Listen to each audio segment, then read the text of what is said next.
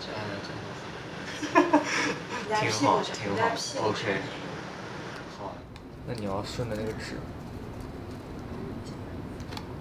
哦，声音好响。你怎么顺着纸同时搞那个呢？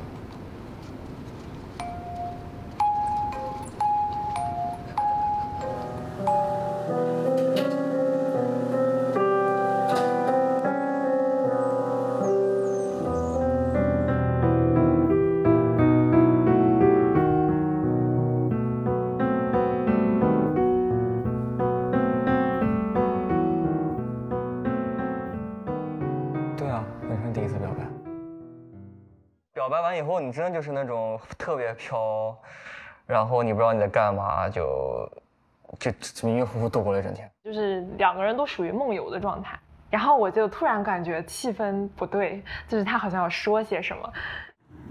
这是你你画的地图啊？画什么？就是去那个去佛罗里达吗？好像是。我还记得那个我跟他表白那个点是在 Magic Kingdom 的西边的地图上看，你这 Magic Kingdom。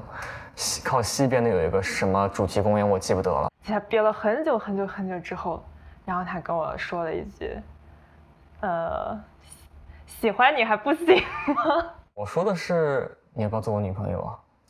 然后，然后他就说：“然后就这样吗？”我记得他表情是这样的，他他趴在他他趴在这边是，呃，困在睡觉，然后。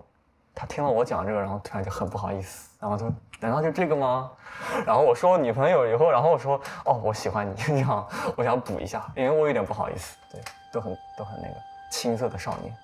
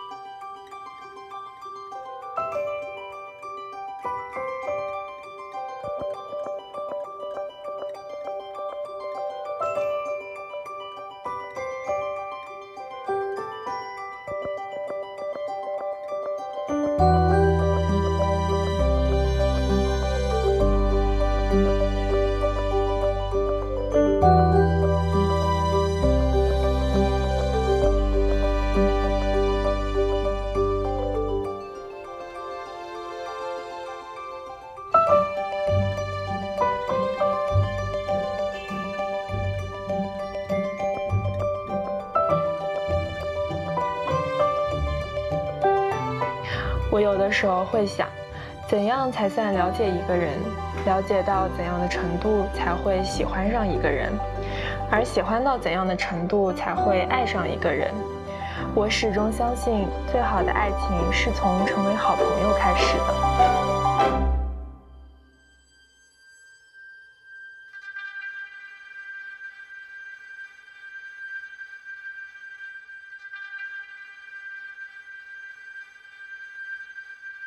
其实是有点怕生，就不太敢探险那种。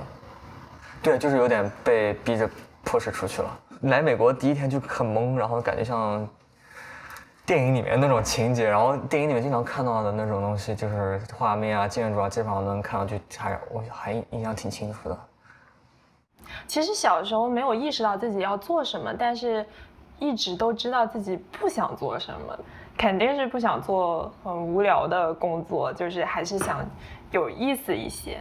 一开始是准备学商，后来我的最好的高中的朋友，他跟我一起上了大学，我们又是室友，然后他就是准备去学建筑，然后我就觉得，哎，我以前好像也挺喜欢看建筑纪录片的，就是我说那我就试试建筑，然后结果一试就。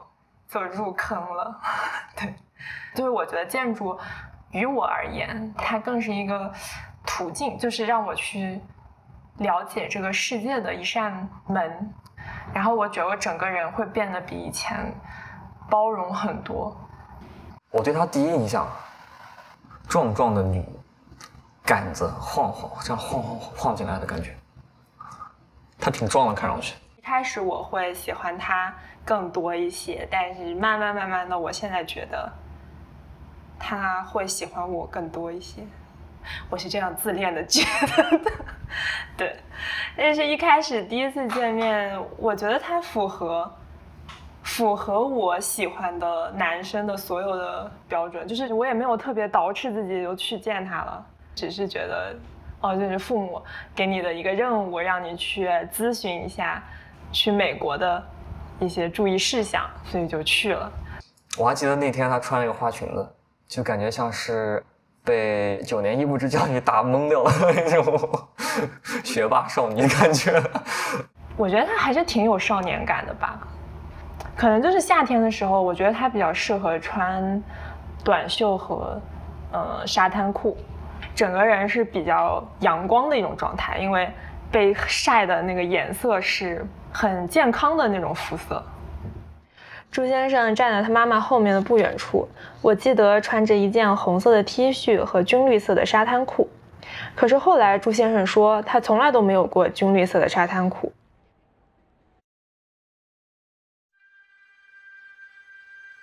二零一一年九月十二号，我到达西雅图，很惊讶，对数字不敏感的我能清晰的记得这个日子。陌生又新鲜的大学生活占用了我的全部注意力，直到有一天收到了朱先生的 QQ 留言，二零六三七零幺幺八四，看得出来这是一个电话号码。当时看到他留言的感觉很难形容，好像我突然意识到我的潜意识里一直在等这一刻。那时候 QQ 疯狂聊，基本上每天在聊，就基本上有话就说。那年一二年的。在佐扎理工的第二年，有一天，他突然给我发了一段音乐，我很喜欢的林俊杰的一首歌，叫《爱与希望》，我那时候挺喜欢的。然后他弹给我听然后，发过来，我就很感动。可能那时候挺挺难受的感觉，一个人待着，一个人待着做科研，挺累的，挺孤单的一个人。我们互相通 QQ 的时候，他就已经说他要表白了，但是我当时制止了他。我在 QQ 上说，我说我希望我们表白是当面发生的，所以就是其实又过了大概几个月，就是到就是到我们在奥兰多的时候，他才就是正式的说了这件事情。然后我也不知道为什么我那个时候会有这种执念。这是你表白那天发的哎？对对对对，好像是。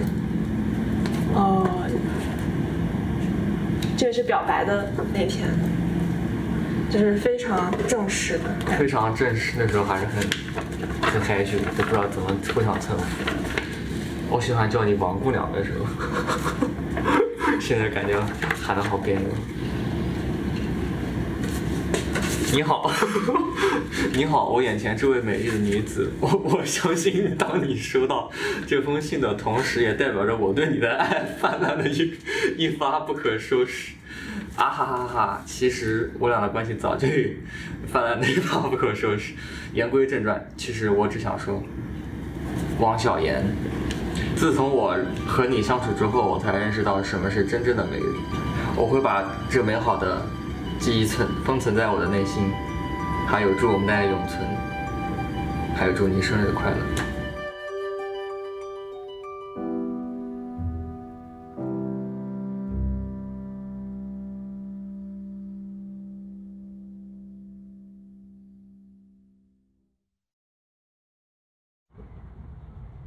哇，这望远镜望的真的好远！我们家在哪儿？现在找不到方向了，看一下我家在哪儿。应该是靠在左边一点，左边一点，左边一点。哦，在那边。哦，那边，对对对，那边。那次玩我印象特别深的是我我们要走的那一次。就要分开那，因为那时候还是异地嘛。然后那那天要走的那个晚上啊，我跟他坐在那个旅馆的顶楼。来纽约和普林斯顿之前，我们其实记忆非常深刻，因为那个时候我们可能总共只见了七次面，所以每一次的印象都非常深，非常依依不舍的状状态。坐在旅馆顶楼最后一个台阶。只能是暑假、寒假或者是春假，然后最长的一次是九个月都没有见面。然后走的时候嚎啕大哭。我在我在旅馆，就是那个巴士上，就走的巴士上，就是哎很难受。他好像也是哭着走回去的。然后就进入了一个非常可能是人生特别低谷的时期，就是我可能这么长时间最低谷的时期，就是当就是身边的人都拿到了录取信，我就一直都是拒信，我就每天给他打电话，我就说，我觉得太难受了，就是我那个时候每天都在给他这种负面的信息，然后那个时候他已经收到了普林斯顿的录取通知书嘛。啊，我就觉得，可能就是 没有办法跟他在一块儿。我知道他被各大录了以后，比我知道我自己被普林斯顿录了开心好很多倍。就是我我自己被录了就还行，挺开心的。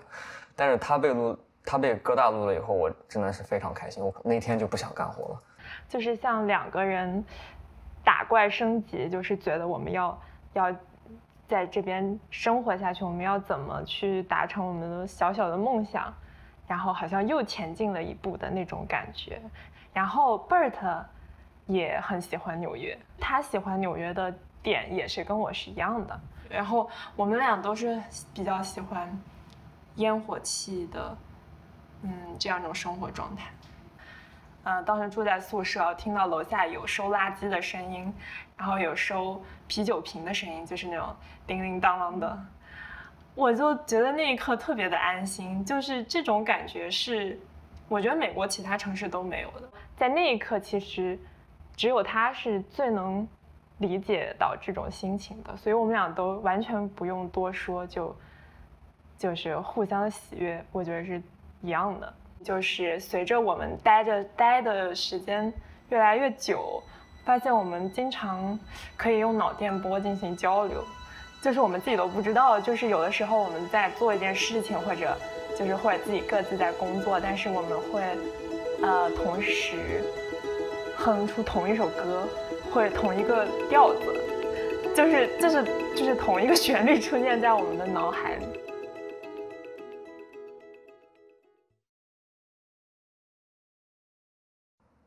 上二年级，天天做噩梦，然后他带我去了日本，然后我看到了，啊，他心心想要去的一个模呃美术馆叫啊 Chichu Art Museum，是那个忘了那个设计师的名字了，应该是一七年的暑假，就是上完哥大第一年研究生之后去的日本，然后他就对他，然后我实习的中途他来找我。然后我们一起就去了这个嗯博物馆，在一个岛上，嗯，我其实是为了给他艺术的熏陶，对，但是那次其实让我非常震动，因为我我没有想到他会比我还要感动。然后你走到那个空间里面，你就会觉得这三幅画就应该属于这里，它的它的光线，它的气场。它整体融合的特别好，我就说不出来那种感觉。然后我顿时那下就哭了，就是因为跟我那时候的工作环境就是冲撞太激烈。就我我工作环境特别的压力很大，然后当我看到有这么一个非常祥和、非常融合的这么一个状态的时候，我就觉得，嗯，这个是我想达到的状态。他诚实、善良、坚定，敢于说出大家不愿意承认的最简单的道理。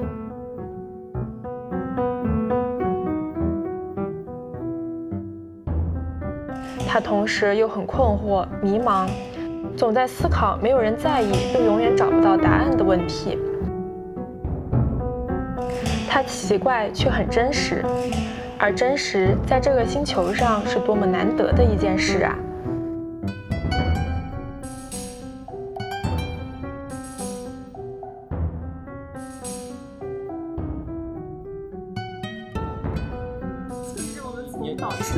特别要坚坚持搞一顿是吧？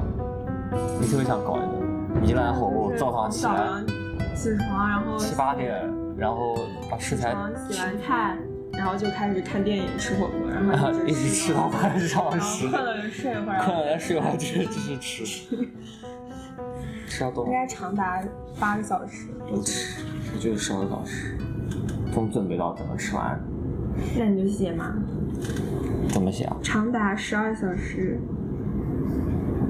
把它怎么写啊？Oh my god！Oh my god！哎呀，太可怕了，要回到小学一年级了，感觉。然后这个是，真的不能用手机了，要学会写字。嗯要，用手。毕业之后搬家，这也不写啊，写好呀。你在我家吃小龙虾，毕业一年搬家，你在我家吃什么？吃的稀里哗啦。这是呃社畜的一日常，社畜的日常，社畜的日常。社畜，畜怎么写？田字底吗？先写二零二零年八月四号四四。日，对。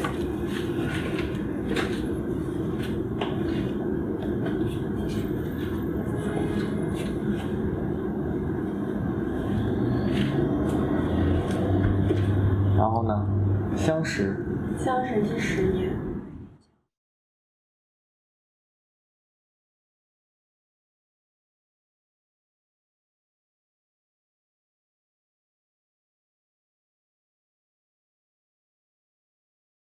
啊，求婚视频的时候取的是迪士尼有个动画叫《Paperman》，你们应该都知道。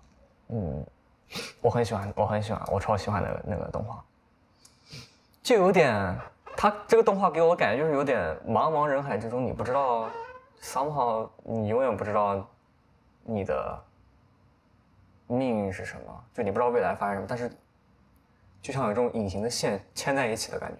那天其实我上班的时候，大概四点多、四五点钟，他就给我发了一个呃 video 的 link，从一个不知道你在干什么，到一个奔跑向一个目的进发的感觉，也也就是像是一个我跟他之间，在我看来，我我的心历的呃心路的历程这么一回事。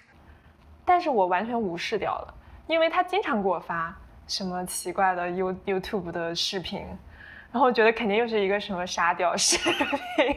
回忆在慢慢闪现的感觉，然后突然就想起来了我是谁，然后我要去干嘛了。所以你看到后半段，就是慢慢逐渐变成彩色了。我根本就没有管。后来他大概六点钟的时候突然跟我说：“你视频看了吗？看完了你就下来吧。”然后我就我就突然意识到，哦，好像情况不太对。这边就是我突然意识到我就是这个照片里的人，然后，对，然后我正在跟我室友聊天，然后室友就知道了这件事情，然后室友就超激动，然后他也在那边尖叫，然后，然后我就我就点开了那个视频看了，所以其实是一种很慌乱的情况下看的。手指一打就出来了 的感觉，然后整装待发出门，完全没有捯饬的一种状态就下去了。Thanks. Wish you guys the best. It's so exciting. Yeah. When is the wedding? Um, next year? Next year? Yeah, next year.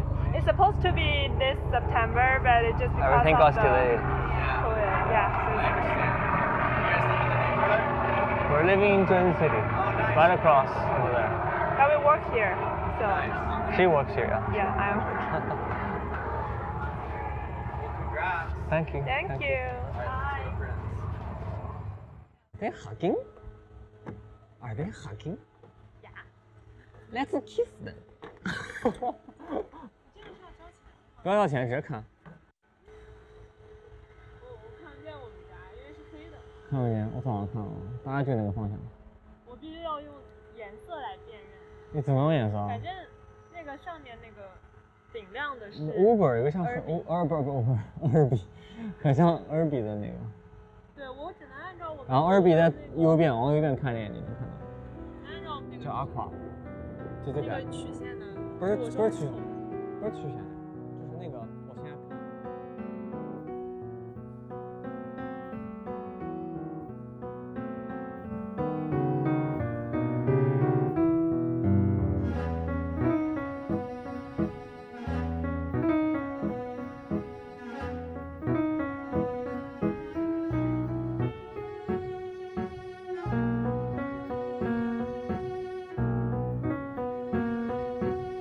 然后那天就是切西瓜，因为那个西瓜皮上面有一个有一个塑料的标签，然后他就就拿那个刀切，他切了以后他就突然惊叫，然后我说怎么了？他说切到那个塑料了，然后他就在狂吸刀，然后我说我说怎么？我说你天天都在吃塑料，只是你没有看到而已。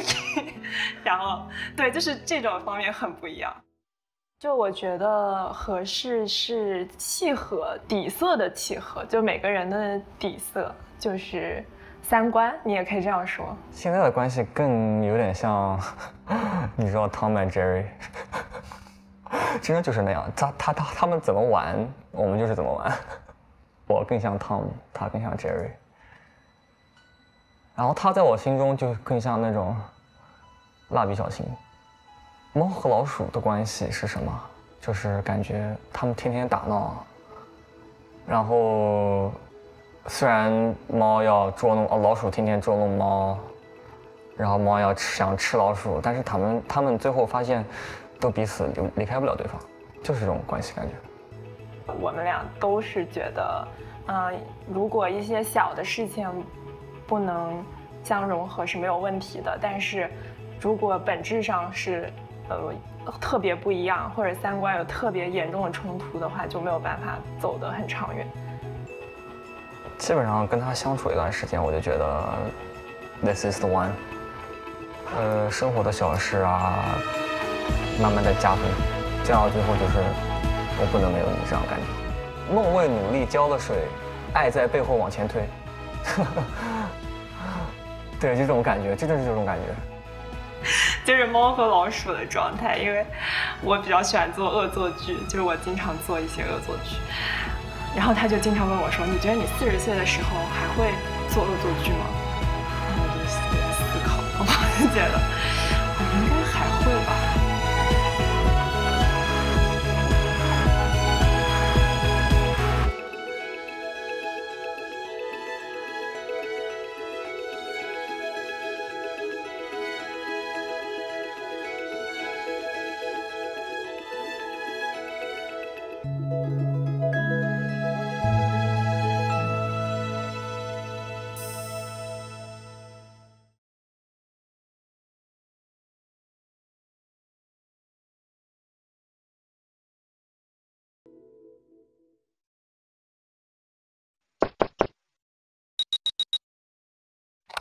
六三七零幺幺八四，二零六六七三七三二八，我的不好意思，再确认一下你的名字。王小妍，你的是朱成